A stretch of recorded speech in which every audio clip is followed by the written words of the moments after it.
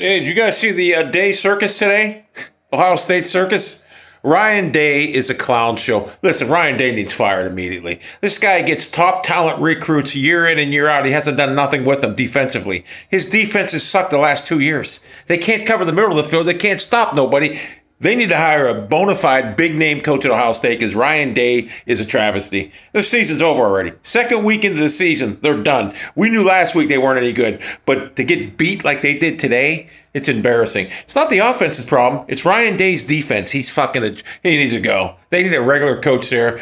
Honestly, I think after Urban Meyer's failed two seasons over there in Jacksonville, he's going to come back and save the floundering program. I'll be honest with you. I think Michigan destroys Ohio State this year. Ohio State is a Ryan Day needs fired. You can't tell me Ryan Day is the solution. This guy inherited the stack roster and did nothing with it. He got blown out in any big game. So um, yeah, that was embarrassing.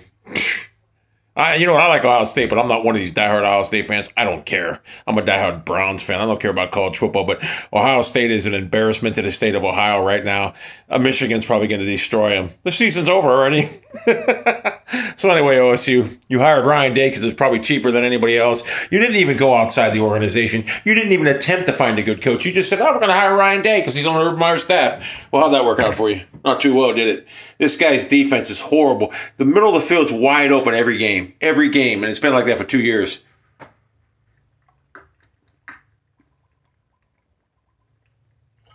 In fact, if you're a top recruit, why would you want to go to Ohio State now?